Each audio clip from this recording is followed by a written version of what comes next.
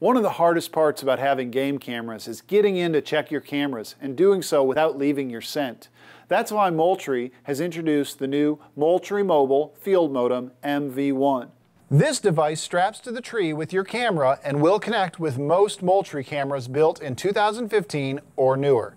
It uses the Verizon 3G network, the best network in America, which means that even the most out-of-the-way places can have coverage.